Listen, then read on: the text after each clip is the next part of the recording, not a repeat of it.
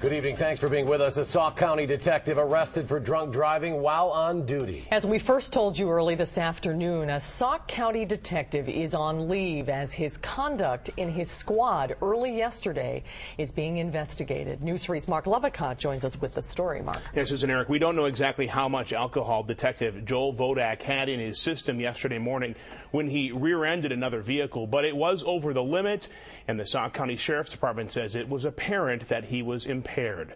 Vodak, a 15-year veteran with the Sauk County Sheriff's Department.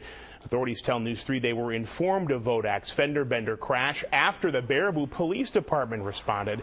No one was injured in that crash, and Baraboo Police did not suspect Vodak was impaired, but Sauk County officers later questioned that when they called in the State Patrol as an outside agency to look into it. A trooper then determined Vodak, who was on duty at the time, was over the legal limit, and he was then arrested for operating while intoxicated. Shock.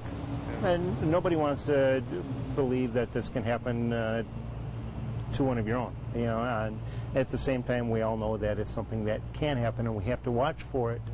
Um, you know, and it's just it's it's sad. Vodak described as a good officer who's always done good work at the department. He is now on paid administrative leave while Sauk County continues their internal investigation. Authorities say they're unsure when a decision could be made about Vodak's future with the Sauk County Sheriff's Department. News 3's Marc Lovicott reporting that. Mark, thank you very much. Thanks, Mark.